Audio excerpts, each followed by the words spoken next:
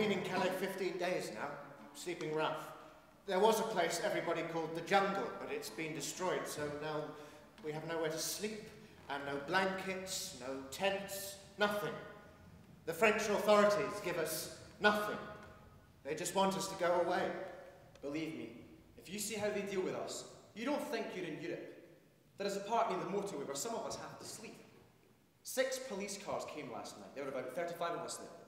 and they were punching all of us. Tonight, I don't know where I will sleep. Nobody knows. We were helping the migrants informally at first. Then three years ago, we decided to become an organisation, partly to protect ourselves as individuals from the police making trouble for us by saying that we were dealing in human trafficking.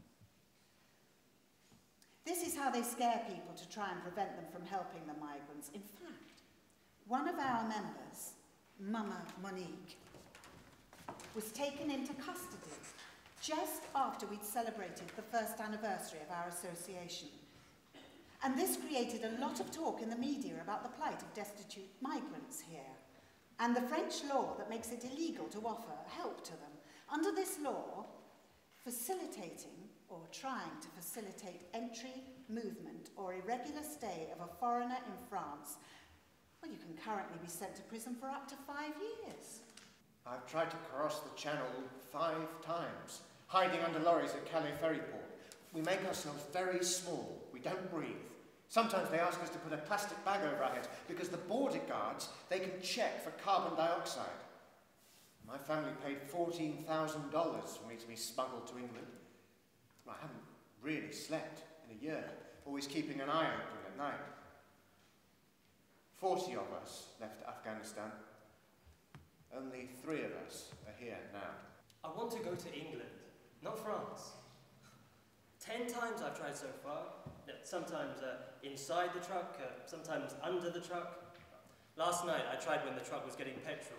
And uh, last week I tried, but the truck went to Belgium. But still, I'll try. I'm 13, and I'm here in Calais with my two cousins, aged 10 and 11. We're alone here. And we have travelled alone from Afghanistan to Calais. It's very bad there. You know, there's no electricity. It's nothing like here.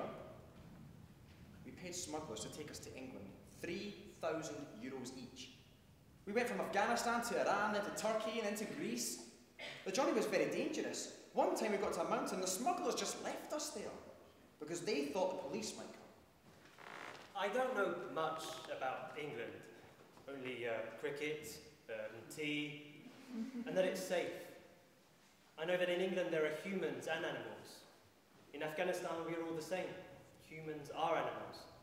But in Calais, we are less than animals.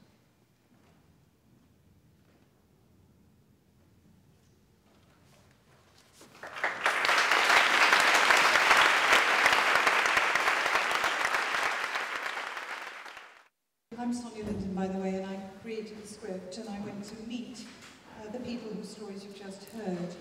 And you can imagine uh, what a remarkable and actually deeply disturbing experience it was to meet some of these people, not least because of the context in which I was meeting them. Um, I was meeting largely young men and boys, only in the camp where there were Eritreans, which uh, Lily is going to tell you about, also in the Vietnamese camp were there any women. Um, and it was very distressing because they were so deeply distressed. I have interviewed asylum seekers in Britain, but then, despite their very traumatic stories, I knew they had a roof over their head. But um, I knew that when I, after I'd spoken to these people, they did not know where they were going to sleep that night. It was going to be raining. They were going to be moved on constantly by the police. Um, and they were very young, as I just said. One of the things that struck me about the, um, the Sangatte Centre when we were there was one of the colleagues with me was from Wales, and she was saying to people, okay, I'm from Wales, and they were going, where's that? We've heard of England, but Wales. So we got taken to the map of the world to try and point out where Wales was.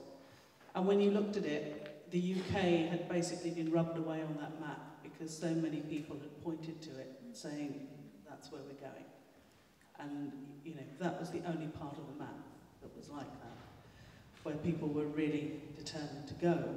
And of course, we know what happened to the Sandgap Centre. That was somewhere where you could have showers, you could have a meal, you could play football, you could sleep. Um, somewhere that at least began to treat people with a degree of dignity. And of course, it was closed down because in that old phrase, it was a pull factor and therefore that was bringing people to the area. But I think what we can see is that we may have closed, you know, Sangatte may have closed, but people are still in the area. All of those sort of um, pieces of legislation have had a real evaluation from the Commission, from UNHCR, um, to look at how are they being implemented, if they're being implemented properly. It's damn obvious that no, they're not. What you can also hear from tonight's um, performance, which in Ice and Fire's usual way is very strong and I think very moving and demonstrates some of the complexities, is that even on things which are not part, if you like, of the European system, the way the police treat individuals, the way that governments decide to treat people who are operating, I suppose we would now have to say, as part of the big society, in a voluntary way, you know, in a charitable way that embraces, you know, the failures of the state, as we heard very, very clearly. Um, all of that sort of oppression to even stop individuals behaving in a decent way is not part of legislation, it's part of how people choose to practice when they think they can get away with it.